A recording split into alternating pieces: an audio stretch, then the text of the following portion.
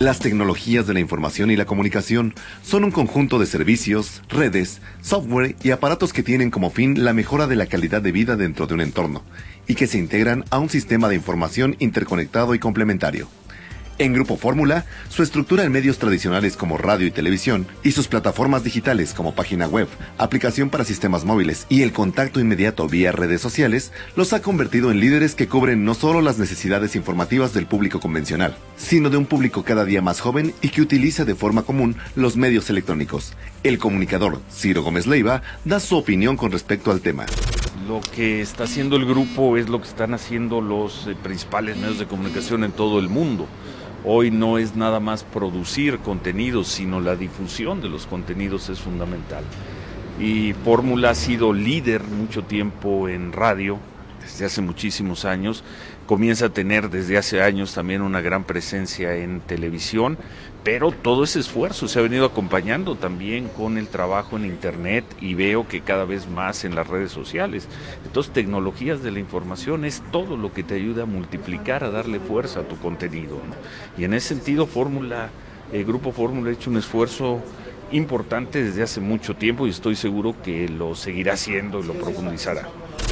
Jaime Núñez, conductor del noticiero dominical de Grupo Fórmula y productor del programa Fórmula Financiera, también nos da su perspectiva de cómo Grupo Fórmula se ha adaptado a una nueva generación de radioescuchas. Las tecnologías de la información debe de ser el paso necesario de todo, de todo medio de comunicación. Yo creo, particularmente hablando de lo que está, está haciendo Radio Fórmula, es muy importante y es muy interesante.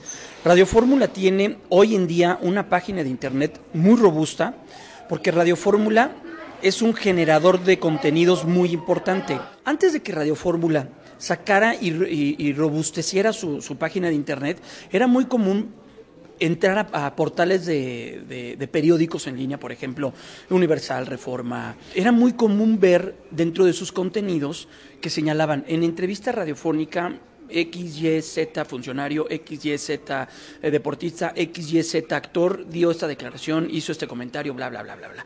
Radio Fórmula se dio cuenta de eso. Y al darse cuenta de eso, y al darse cuenta de que Radio Fórmula y en los espacios de la radio y de la televisión se están generando buena parte de los contenidos y de la agenda informativa que tiene este país, Radio Fórmula dio el paso. Lo tenía que dar y era necesario y lo dio de una muy buena manera. Hoy en día Radio Fórmula cuenta con una página de internet que tiene buena cantidad de, clics, que así es como se, se, se checan estos ratings de, de, y esto es la numeralia a través de las, de las páginas y de los portales de Internet. Y ellos atendieron, y aquí se atendió ese tema.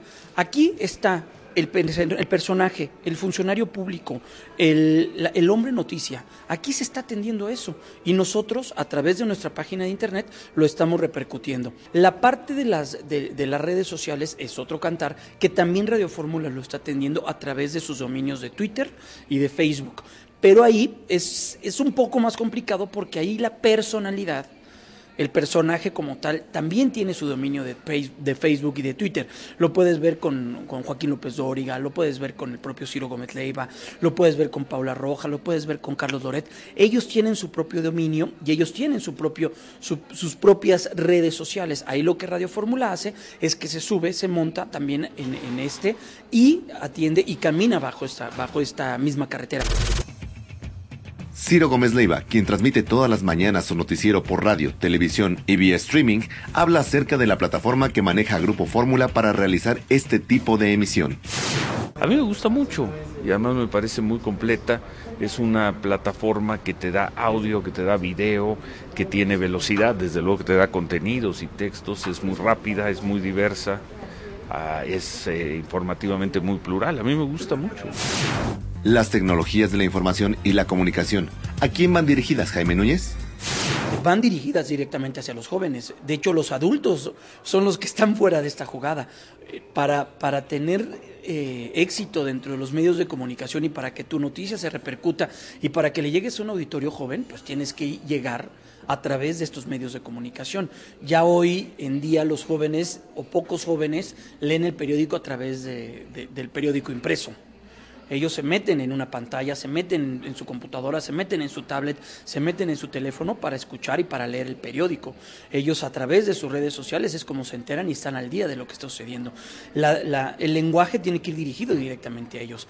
Los, las personas de mayor edad son las que se comenzaron un poco a rezagar en este tema. ¿no?